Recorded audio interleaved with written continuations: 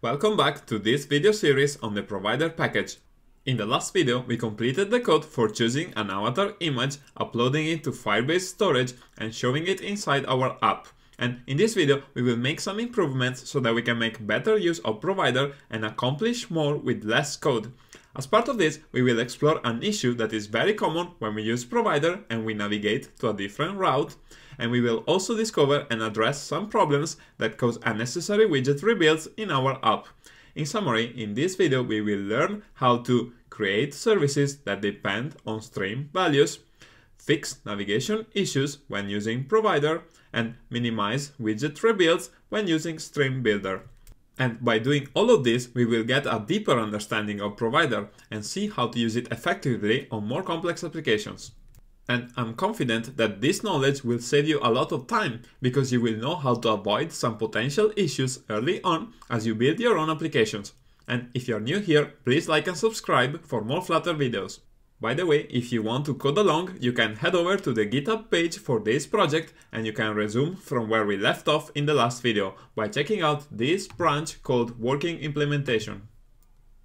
Okay, so let's get started. And if we go to the home page, I can point out one thing, and that is that in order to upload an image file, we're getting the user object with provider of user so that we can pass the user UID to the upload avatar and set avatar reference methods inside our services. And this works, however, as you add features to your apps, you may add more and more methods to your services. And it quickly becomes repetitive to retrieve the user just so that we can pass the UID when we call methods with Firestore or other services. However, in this application, we only need to use these services when the user is logged in. And in this scenario, we know that we always have a UID. And this means that we could modify the Firebase storage service and the Firestore service classes to take the user ID as a constructor argument rather than as an input argument to these methods. So if we make this change, we no longer need to pass in the user ID when we call these methods, and this can save us a lot of code. However, the Firebase storage service and the Firestore service are created inside the main file, and over here we don't know what the user ID is.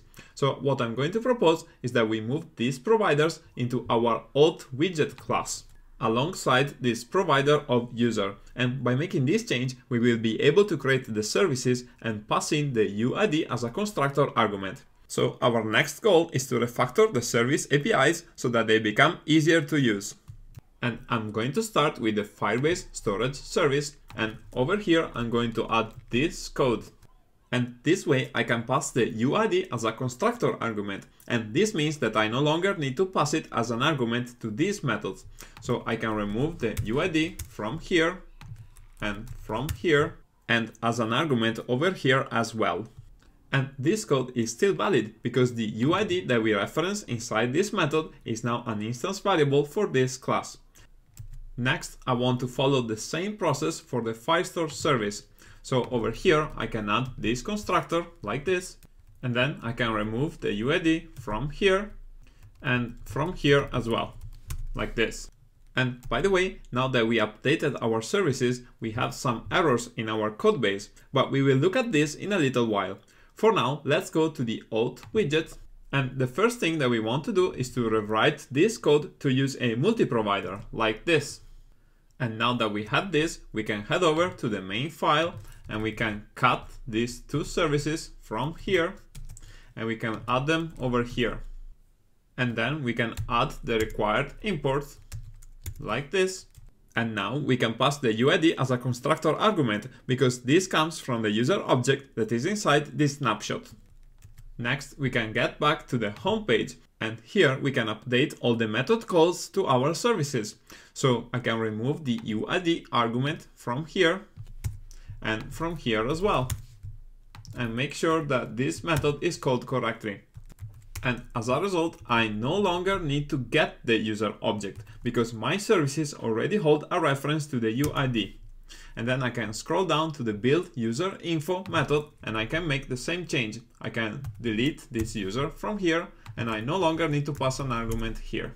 Okay, so I can save this file and by the way, I can see that I also have an error on this about page, which is a widget that we haven't looked at until now. and we will see why I added an about page to this project in a little while. But for now, let's scroll down and fix this error by calling this method without a UID argument. And we can remove the user variable as well. Okay, so with this change, our code is now fixed. And once again, I want to point out that the APIs inside the Firebase storage service and the Firestore service are now much easier to use because we no longer need to retrieve the user with provider and pass in the UID every time we call these methods. And we have been able to accomplish this by making these services dependent on the user object that we extract from the onAuth state change stream. And this means that these services are only added to the widget tree when there is a signed in user and we show the home page. So this approach works well in our use case and you can structure things in the same way in your own apps as long as you only need to use these services when the user is logged in. Okay, so it looks like our service APIs are now simpler. However, are there any drawbacks in this approach? Well, at this stage, we could hot restart the application. And if we wanted, we could open the About page by pressing on this button. And as we can see, this is just a simple page that shows some text. However, I want to point out one problem that happens when we open the About page and that is that with the current setup we get some unwanted widget rebuilds when we perform some navigation. And to prove that, I can open the auth widget file and here I can add a couple of console logs. So inside the build method I can add a print like this and also inside the stream builder I can print the connection state of the snapshot like this. And then I can open the console and hot reload and as I can see the widget is built once and the stream builder is called twice, first with a connection state of waiting and then with a connection state of active. And this is normal when working with Stream Builder because we always get a snapshot before the first stream event is emitted. However, if I open and close the About page, I can see that I get an additional call to the Stream Builder and this happens again and again every time I perform some navigation. So this is interesting, but it's probably not what I want, because I don't want navigation events to cause rebuilds inside stream builders that are entirely unrelated. So this is an undesired side effect that we want to avoid. Not only this, but I need to show you another problem that has the same root cause. And if we open the About page, we can see that there are some lines that I have commented out. So if we uncomment this code, we can see that it is used to show the avatar in the same way that we had done in the homepage. So if we hot reload now and we try to open the about page like this, we see that we get a red error screen with an error about provider. And in the console log, there is also an error which says could not find the correct provider of Firestore service above this about page widget. And you might think that this doesn't make sense because the provider of Firestore service that we use here is an ancestor of the homepage. And in the homepage, we have a method that we use to present the About page inside a material page route with a navigator. However, when we perform navigation like this, the About page does not become a child of the homepage. And to illustrate what I mean, I can show you this diagram, which represents the current widget tree in our app. And what we have learned before is that widgets can only access providers as long as they are their ancestors. So in this case, the home page can get access to the auth service and the image picker service, as well as the user, the Firestore service, and the Firebase storage service, because all these services live inside ancestor providers. However, the About page is presented with a navigator, and this is contained inside the Material app. And what this means is that the About page doesn't have access to all the services inside this multi-provider. And this explains why we are getting a red screen. But how can we fix this? Well, one option would be to access the dependencies that we need from the home page and pass them as constructor arguments to the About page so that they can be accessed directly as instance variables rather than by using provider. However, I feel that this kind of defeats the point of using provider for scoped access, because it means that we need to write extra code to hook things up when we want to push routes. So let's take a deeper look at the problem. And the issue here is that this multi-provider lives inside the auth widget, which is a child of the material app. However, if we could find a way to move this multi-provider above the material app, then our problems would go away. And this solution is represented in this diagram. And as we can see, here the About page has access to all the services because all the corresponding providers live above the Material app. And in order for this to work, here I have added an auth widget builder class, which is responsible for creating this multi-provider. And this in turn has the Material app as a child. And down here, I still have an auth widget which decides what page to show depending on the authentication state. And the main difference compared to the previous implementation is that in this case we are splitting the authentication state logic into two separate widgets. At the top we have an auth widget builder which will contain the stream builder that reads the on auth state changed stream and this will call a builder with a snapshot of type user that can be used by the auth widget to decide which widget to return. So our next goal is to refactor our code so that it matches this widget tree and as we will see, this will solve two problems in one go because the unwanted widget rebuilds will go away and we will be able to access our services with provider when we do navigation. Okay, so let's get started by creating a new file called auth widget builder.dart and then we can copy and paste all the code from the previous auth widget class and paste it over here. And we're going to rename this class to auth widget builder like this. And here we're going to add a builder that will be initialized by the constructor. And this instance variable is a function which is called builder and it takes two arguments, a build context and an async snapshot of type user. And this function returns a widget. And what we can do with this builder is to call it over here like this and over here like this as well.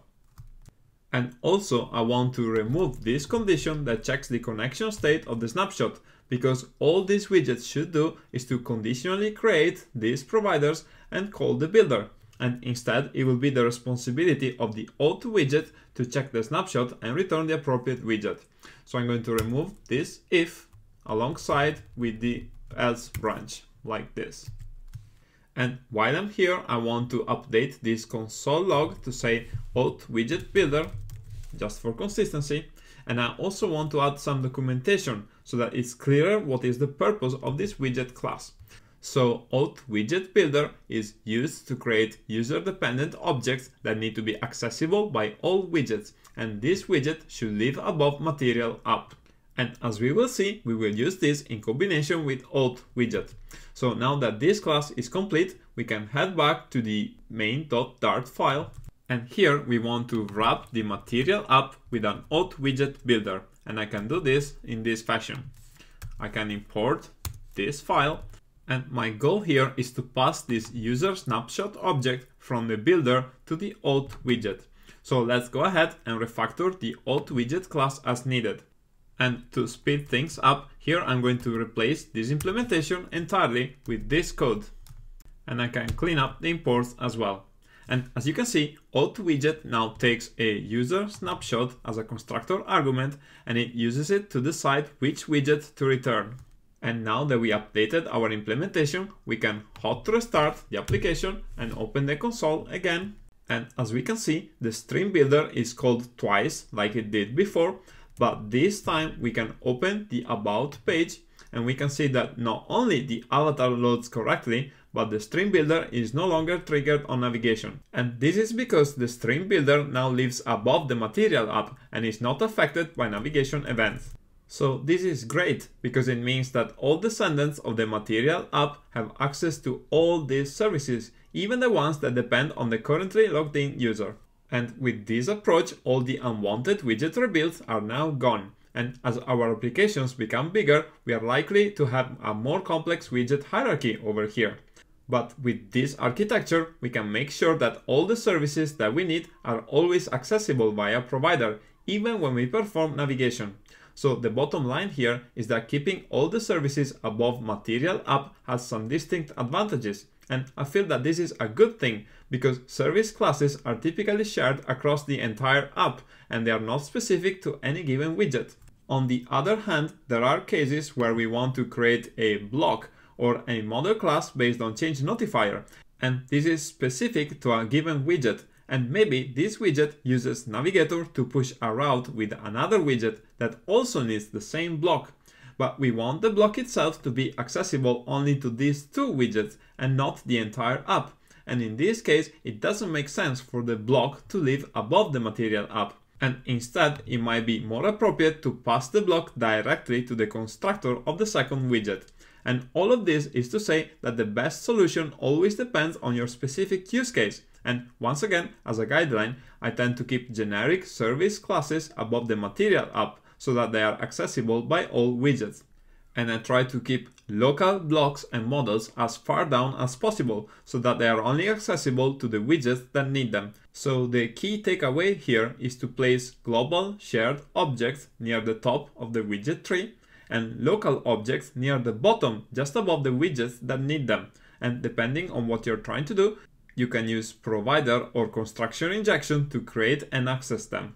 In conclusion, in this video we have seen how to create services that depend on stream values and we have discovered that if you are not careful, this can lead to navigation issues and unwanted widget rebuilds. And we have seen how to solve these problems. Finally, we have discussed where our providers should go in the widget tree, depending on who needs access to them and I feel that we should now have a deeper understanding of how to use Provider effectively as our applications become more complex. Thank you very much for watching and I'll see you in the next video, where we will learn a few more things about Provider.